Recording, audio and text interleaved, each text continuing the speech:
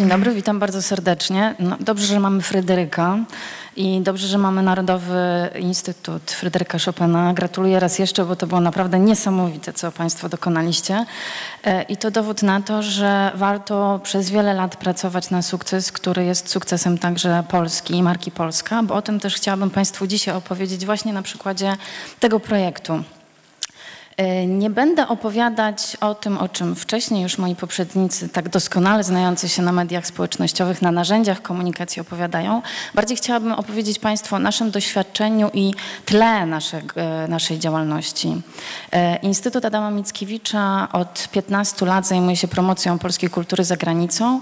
Ostatnio staliśmy się dosyć modni w kraju, bo pewne wybrane media uznają, że zajmujemy się promocją gadżetów, jeździmy taksówkami i dużo jemy. A tak naprawdę chodzi o wizyty studyjne, które organizujemy, wizyty zagranicznych gości do Polski. Sprowadzamy ponad 400 osób w ciągu roku, to jest mniej więcej 4 do 5 wizyt studyjnych e, w miesiącu w samej Warszawie, ale w ogóle w całej Polsce. To są kuratorzy, dyrektorzy instytucji, trendseterzy, dziennikarze, którym opowiadamy Polskę poprzez to, że zapraszamy ich tutaj i pokazujemy im, co tak naprawdę mamy do zaoferowania. A dlaczego to robimy? Bo nie jest do końca też tak, że obraz Polski jest taki, jak my widzimy. Więc pytanie o to, co możemy pokazać Polsce poprzez to, jak Polskę pokazujemy tu, stąd, ze środka. E, w 2014 roku miałam przyjemność poprowadzić projekt w Turcji. Projekt, który został nam zlecony e, przez Ministerstwo Kultury i Dziedzictwa Narodowego, ponieważ jesteśmy instytucją narodową. Projekt związany z obchodami 600-lecia polsko-tureckich stosunków dyplomatycznych. Więc możecie sobie Państwo też wyobrazić, że to jest nie lada zadanie, jak opowiedzieć w krótkim, bo w ciągu roku, e, historię stosunków dyplomatycznych, ale jednocześnie opowiedzieć to w dosyć ciekawy, interesujący sposób dla odbiorcy e, w Turcji. Kto z Państwa był w Turcji? No, wydaje mi się, że mniejsza połowa sali. E, chciałabym trochę, żebyśmy lepiej zrozumieli, w jakim kraju operowaliśmy, zaprosić Państwa najpierw do obejrzenia filmu. I poproszę o film, bo chyba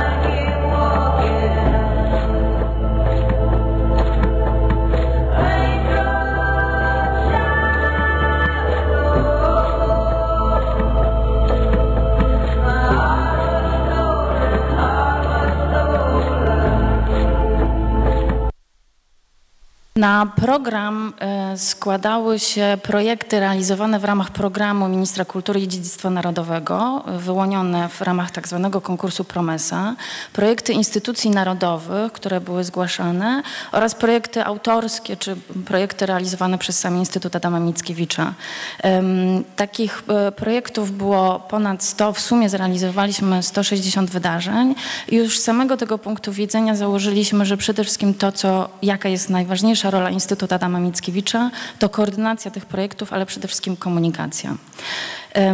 My nie mieliśmy wpływu na to, jakiego typu projekty będą realizowane, ale my sami odrobiliśmy zadanie, a mianowicie dwa lata wcześniej, rozpoczynając pracę przed, e, przed projektem, sprawdziliśmy, gdzie w ogóle będziemy działać, na jakim obszarze, na jakim terytorium. Przeprowadziliśmy analizę, poprosiliśmy tureckich ekspertów, e, którzy e, pogłębili analizę jakościową i ilościową, odpowiadając na nasze pytanie, co w Turcji wie, jaka jest wiedza Turcji tureckich e, odbiorców na temat Polski. E, I odpowiedź nas wcale nie zaskoczyła, dlatego że ta wiedza była niewielka, ponieważ o Polsce wiedziano jako o Mickiewiczu, jest bardzo słynna, znana miejscowość Polonesko i niedaleko Stambułu, która kojarzy się z Polską tradycyjną, e, z tą bogatą kulturą wiejską. Wiedziano także o piłkarzu Gadocha, trochę wiedziano o kantorze, natomiast oprócz tego Polska kojarzyła się bardzo bardzo mocno i polityczna z całym procesem transformacji. Była bardzo pozytywnie traktowana i Polacy bardzo pozytywnie ze względu na ten okres gospodarczej transformacji. Polacy byli znani z e, tego, tej smykałki handlowej, w związku z tym mieli również i e, Turcy bardzo e, duży, mi mają cały czas respekt do Polaków. Natomiast ten obszar kultury był takim obszarem terra, terra incognita, co nas ucieszyło, bo mieliśmy to pole do, do zasiania, jak jeden z późniejszych partnerów powiedział. E, poprosiliśmy także o sprawdzenie wcześniejszych przeprowadzonych sezonów, ponieważ była także moda na sezony. Zresztą Turcja jest takim jednak, to jest otomański kraj, więc ten przepych i, e, i pewne świętowanie i tradycja jest bardzo, bardzo ważna i odgrywa e, dużą rolę. W roku 2011 Holendrzy świętowali 400 lat turecko-holenderskich stosunków dyplomatycznych, więc o 200 lat mniej, a jednocześnie mieli o wiele bogatsze związki gospodarcze e, z Turcją, o wiele głębsze relacje biznesowe, które miały konkretne przykłady biznesu, więc inwestycja w ten rok ze strony holenderskiej była zupełnie inna, ponieważ tam biznes bardzo mocno wszedł. W przypadku Polski mm, program kulturalny był częścią całego dużego projektu, częścią założenia y, polskiej strony, czyli powinna za tym iść również gospodarka, powinna za tym iść również polityka. E, jak Państwo doskonale wiecie, wizje, a realizacja czasami się rozjeżdżają, więc program kulturalny został zrealizowany. Jeżeli chodzi o gospodarkę, to może kiedyś ono zostanie, e, ta wizja zostanie spełniona. E, co do polityki nie chciałabym tutaj odpowiadać, bo to myślę, że też jest część długofalowej perspektywy polskiej strony. Natomiast sprawdziliśmy także, jak wygląda przeciętny Turek i Turczynka na podstawie badań e, operatora komórkowego Turczel, Turkcell, e, czyli takiego naszego e, bardzo klasycznego operatora e, Orange.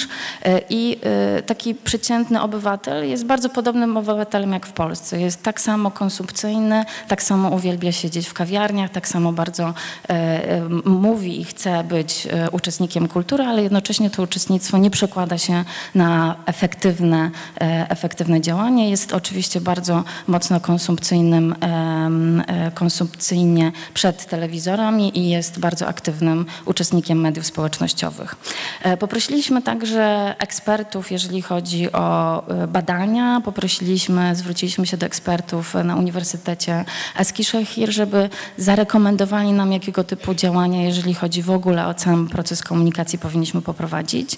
Te wyniki nie zaskoczyły nas, naszej intuicji tak naprawdę, w jaki sposób powinniśmy prowadzić ten program. Znaczy turecka strona nie oczekuje, czy narzędzia komunikacyjne, które e, zostały zaproponowane, niczym nie odbiegały od narzędzi komunikacyjnych, które stosowane są w wszystkich pozostałych krajach. Tak na koniec, jak zawsze, liczy się przede wszystkim pomysł. Więc to tło działań, które mieliśmy, było niezwykle trudne, dlatego że mieliśmy bardzo poważną konkurencję w postaci innych marek, które funkcjonowały już w obiegu tureckim. Mieliśmy bardzo poważny problem ze względu na um, sytuację polityczną w Turcji i ta niepewna sytuacja przekładała się także na i nie do końca pewną sytuację y, nasz, realizacji naszych niektórych projektów, co jest szalenie ważne w kontekście relacji instytucji ze strony polskiej, a instytucji tureckich jest to, że sektor kultury w Turcji jest sektorem w 80% sektorem prywatnym. To są instytucje, największe instytucje, największe muzea, największe e, festiwale są organizowane przez prywatny biznes. To są mecenasi kultury, którzy wykładają ogromne pieniądze. To są marki, które od wielu lat funkcjonują na rynku tureckim. Natomiast ich myślenie i sposób e, zapraszania do udziału w ich projektach jest zupełnie inny, ponieważ na koniec dnia oni chcą zarobić na kolejne projekty, kolejne prezentacje. Więc kogo chcą zapraszać do udziału? Gwiazdy i takie projekty, które naprawdę przyniosą im zysk. E, występując z ofertą, którą mieliśmy, czyli tak naprawdę występując, mam na myśli właśnie zapraszanie przez te dwa lata, zapraszanie naszych przygotowań do roku 2014, zapraszanie gości z Turcji, zapraszanie dyrektorów festiwali z Izmiru, z Stambułu, z Ankary, do tego, żeby oglądali wydarzenia, poznawali dyrektorów, zapoznawali się z programem, było wyznacznikiem tego, jakiego projekty typu zostaną zaprezentowane i będą tak naprawdę reprezentować ten program kulturalny za granicą. Sprawdziliśmy również, że mm, dziedzina czy sztuki, która, dziedzina e, kultury, która jest tak naprawdę najnośniejsza, jeżeli chodzi e, o rozpoznawalność w Turcji, to sztuki wizualne. I z tego też powodu zbudowaliśmy nasz program na dwóch y, kluczowych wystawach, otwierających i zamykających i wykorzystaliśmy ten właśnie element, który jest szalenie ważny, czyli 600 lat polsko-tureckich stosunków, a mianowicie projekt otworzyliśmy wystawą opowiadającą 600 lat polsko-tureckich stosunków w najważniejszym muzeum w Stambule w Sakip Sabanji. To otwarcie miało miejsce w obecności prezydenta Polski y, i przedstawicieli najwyższej rangi po stronie tureckiej. Natomiast zamknęliśmy zaczęliśmy ten program szczególnym okresem w relacjach polsko-tureckich, orientalizmem i zamknęliśmy wystawą, która była prezentowana w Pera Muzeum, e, również w Stambule. Ta klamra zamykająca i te oba projekty były e, projektami, które były swego rodzaju początkiem i opowieścią o tym, co się w Polsce dzisiaj w kontekście współczesnym dzieje. Uczestniczyliśmy we wszystkich najważniejszych festiwalach, mam na myśli polskich artystów, polskie grupy, polskie prezentacje jednocześnie z tego najwyższego e, poziomu schodziliśmy w dół, wchodząc w bardzo intensywne relacje i współpracę pomiędzy partnerami i instytucjami polsko-tureckimi. Media, do których chcieliśmy docierać, to z jednej strony telewizja, i oczywiście sprawdzając wiedzieliśmy, że to jest marzenie, dlatego że telewizja turecka bardzo mocno jest telewizją państwową i programy i projekty i prezentacje, to co ich interesuje tak naprawdę to gwiazdy pop, czyli Madonna. My do dzisiaj nie mamy tak naprawdę naszej Madonny jeszcze, więc chwilę musimy poczekać, ale mamy na szczęście Fryderyka, więc mam nadzieję, że on nam pomoże. E, z Turcją może być problem, ale nie, nie poddajemy się. E, natomiast e, pozostałymi kanałami to oczywiście media, prasa, przy czym e, chciałabym zwrócić Państwu także uwagę, że jest bardzo mało gazet, które mają swoje kolumny kulturalne, poświęcone kulturze. Bardzo mało prasy tureckiej zajmuje się tym obszarem i cały świat mediów społecznościowych to świat, w którym tak naprawdę kultura żyje. Więc to, na czym my się opieraliśmy także i mówię i podkreślam to szalenie, żeby Państwo zrozumieli, że jeżeli opowiadamy o rzeczach, które dzieją się w udziale polskich, y, polskich artystów na tych najważniejszych festiwalach, to dla Polski jest to szalenie ważne po to, żeby y, wykorzystać kanały komunikacji właśnie tych najważniejszych instytucji, tych najlepszych marek, wyrobionych marek e, w danym kraju, po to, żeby to one właśnie dzięki swoim kanałom i dzięki swoim odbiorcom mogli opowiedzieć znacznie lepiej e, te wydarzenia i te projekty, które my prezentujemy. I ostatnia rzecz, a mianowicie marka polska, bo przeprowadziliśmy badania BAW e, na początku, czyli w roku 2012, sprawdzając w ogóle, jaka jest, jakie jest postrzeganie Polski, marki Polska w Turcji. I ono mm, potwierdzało wszystkie te poprzednie analizy, czyli to, że jesteśmy marką tradycyjną, marką e, prostą, marką mało atrakcyjną dla odbiorcy tureckiego i w konkurencji z Francuzami, Brytyjczykami, Niemcami wypadamy jednak dosyć, dosyć gorzej. Więc postawiliśmy sobie także za cel, aby właśnie pracując poprzez program kulturalny pracować nad marką Polska. Czyli tym celem naszego działania w roku 2014 była e, przede wszystkim wzmocnienie wizerunku Polski i marki Polska i dotarcie do, e, zbudowanie takich relacji, dotarcie do instytucji i artystów po to, aby więzi i relacje polsko-tureckie po tych 600 latach tej historii dyplomacji mogły się przerodzić w konkretne i realne działania, których do tej pory e, nie było. I teraz mm, pokuszę się, poprosiłabym z powrotem o prezentację bo siebie nie chciałabym oglądać. A, czyli Państwo mnie oglądali, a nie oglądali zdjęć, które pokazywałam. Super. poproszę o pomoc, e, ponieważ powinien. O, właśnie. To e, kiedy ja mówiłam, powinni Państwo oglądać zdjęcia, oglądali Państwo mnie, natomiast to są mm, projekty i nie tylko projekty, chociażby Food Design, projekt, który zaangażował polskich i tureckich kucharzy do tego, żeby wspólnie eksperymentowali. Dzieci także pojawiają się w relacjach polsko-tureckich. Jeżeli popatrzeć na, turecki, e, na tureckie trendy, to rodzina jest jednym z kluczowych elementów. Natomiast z naszego doświadczenia tureckie instytucje mają także jeszcze wiele do zrobienia, jeżeli chodzi o udział. E, no i to jest też to wyzwanie, które stało przed nami. Relacja i rola E, rodziny jest zupełnie inna i to zaangażowanie kobiet i mężczyzn w, w życiu społecznym jest także jeszcze, e, jeszcze inne niż, niż, sobie, niż, niż sobie wyobrażamy. Z tych statystyk, które nam, e, z którymi operowaliśmy, mówiliśmy do 75-milionowej publiczności Turcji. Nie, mówiliśmy tak naprawdę, bo sprawdziliśmy, e, de facto to jest 1%, to są uczestnicy życia kulturalnego, czyli także niezaskakujące statystyki, jeżeli patrzeć e, na cały obszar w Europy. I przechodząc, te, to teraz poproszę jeszcze o pomoc. Czy to ja mam taki Czy mogę poprosić o klik pana. E,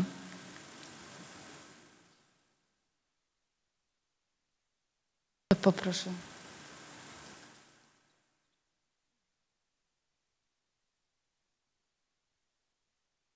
Państwo jesteście skazani. O, właśnie.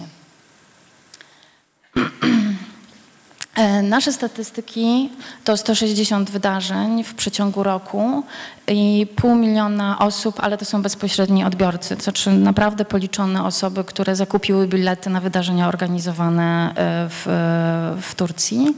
E, były również wydarzenia, które były niebiletowane, w związku z tym trudno jest nam to policzyć, natomiast Ponad 2000 um, artykułów w mediach pojawiło się, więc dotarcie do odbiorców pośrednich jest trudne do obliczenia.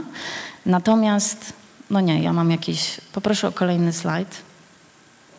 Natomiast to wszystko działo się i to nie jest tak, że działaliśmy tylko i wyłącznie we współpracy z instytucjami. Zaprosiliśmy do współpracy agencję i poprosimy agencję o to, aby działała z nami, ponieważ dotarcie do kanałów ich społecznościowych bez udziału tureckich partnerów nie byłoby możliwe. E, zwiększyliśmy także zdecydowanie profil na Facebooku, który prowadziliśmy i prowadziliśmy we współpracy z naszymi tureckimi partnerami. Poproszę o kolejny slajd. Prowadziliśmy także stronę internetową, która była prowadzona w języku tureckim, ponieważ e, mieliśmy świadomość tego, że żaden inny język nie będzie językiem dotarcia, ale prowadziliśmy też tę stronę we współpracy z naszymi tureckimi partnerami. Wszystkie teksty były pisane przez e, tureckich e, autorów, redagowane przez nich i to oni swoimi pomysłami napędzali swego rodzaju całe, całe działanie, które było prowadzone w Turcji, jeżeli chodzi o media. O media. Poproszę o kolejny slajd. No i teraz co się wydarzyło, a mianowicie to, że zarówno wyróżnialność, wyróżnialność marki Polska, jak i zapotrzebowanie, szacunek i wiedza było o wiele mniejsze przed realizowaniem roku i zmieniły się zdecydowanie, jak Państwo widzicie, po tym roku. Przeprowadziliśmy badanie w roku 2015 kolejne. Poproszę o kolejny slajd. E, również wizerunek, o którym wspominałam, czyli tego obrazu Polski niezwykle tradycyjnej i Polski, która jest tak naprawdę prosta i autentyczna, zmienił się w roku 2015. Poproszę o kolejny slajd. Poproszę o kolejny slajd. Polska zaczęła budzić sympatię odbiorców, ponieważ, ponieważ zaczęła być pokazywana jako zmysłowa, odkrywcza i zarazem młoda. Poproszę o kolejny slajd. Chciałabym zakończyć tutaj, dlatego że e, efekty roku 2014 będą widoczne tak naprawdę przez kolejne lata. Problemem oczywiście jest to, że my już tych kolejnych lat nie będziemy mierzyć. Pewne instytucjonalne działania będą, działały się, będą się działy poza naszym obszarem.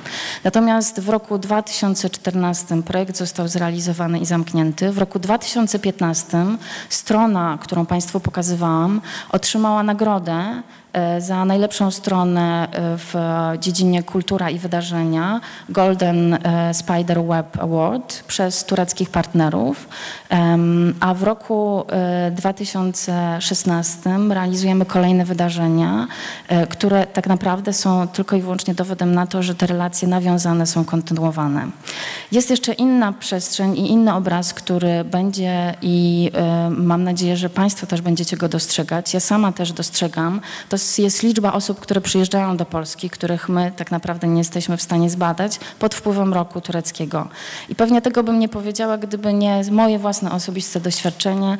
E, pewnego dnia przychodzi do mnie znajomy z sokiem tureckim i opowiada mi historię. Siedząc w jednej z kawiarni w Warszawie, widzi nad mapą zagubionych e, dwójkę osób, więc chce im pomóc i pyta, e, gdzie chcą iść, od słowa do słowa, skąd pochodzą. Okazuje się, że z Turcji, więc pyta, dlaczego tu przyjechali. Oni właśnie opowiadają. Przyjechaliśmy, bo widzieliśmy ciekawe wydarzenia, które zobaczyliśmy w ramach Roku Polskiego w Turcji i zaintrygował nas ten kraj. I postanowiliśmy przyjechać i zobaczyć, co właściwie ciekawego tak naprawdę macie jeszcze do zaoferowania.